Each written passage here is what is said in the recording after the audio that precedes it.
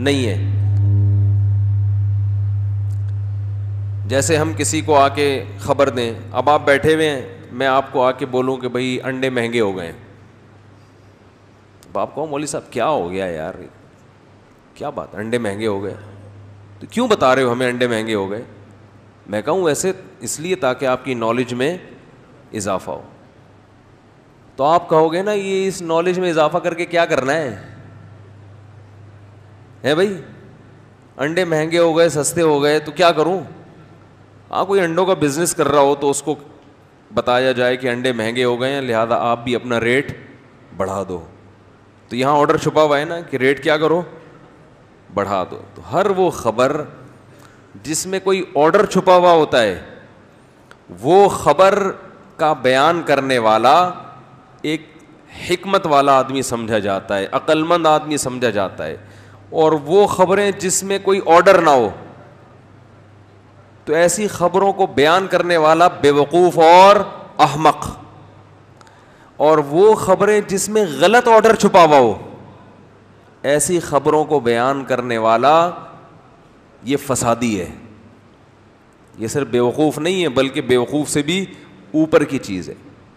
जैसे हमारे अखबार और जो हमारी न्यूज़ एजेंसीज़ हैं, उनमें से बहुत से लोग ऐसी ख़बरें बयान करते हैं, जिनमें ना सिर्फ़ ये कि कोई ऑर्डर नहीं होता, बल्कि ऑर्डर होता है तो गलत ऑर्डर।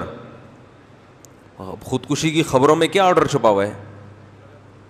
फलां की शादी नहीं हुई तो भाग के लटक गई, मर गई। तो इसमें क्या ऑर्डर है? इस इस न्यूज़ से आपको क्या फ़ायदा हुआ? भाई फ़ायदा ये हुआ, ये ईको ख़त्म नहीं हो सकता।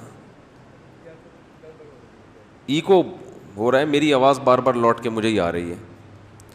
तो इस खबर में कि फ़लानी भागी घर से, अब्बा ने शादी नहीं की उसकी फ़ला जगह तो वो खम्बे से लटक के या चिपक के लटक के तो नहीं होते चिपक के होता है। अब ये भी देखो खबर है जिसमें गलत ऑर्डर छुपा हुआ है, कि आइंदा लटको नहीं, बल्कि चिपकने को फोकस करो। फोकस किसको करो? चिपकने को। लटक के कुछ भी नहीं होगा। सही? तो अभी जो खुदकुशी की खबरें चलाते हैं फला ने फला पे तेज़ाब फेंक दिया। एक बात खूब समझ लें, हमारे माशरे में इतनी बड़ी तकरीबन 20 करोड़ के लगभग आबादी में अगर एक गलत वाक़ होता है ना, उस पर ख़बरें बहुत चलती हैं। और उन लोगों के यहाँ जो अपने आप को हकूक़ इंसानियत के बहुत बड़े अलम बरदार कहते हैं, उनके यहाँ रोज़ाना ऐसे वाक़ात उनके माशरे का हिस्सा हैं। समझ रहे वो वो इसको नुमाया नहीं करते।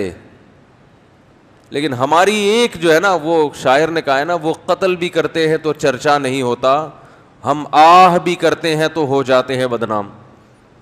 हम तो सिर्फ़ आह कर रहे थे, इस पे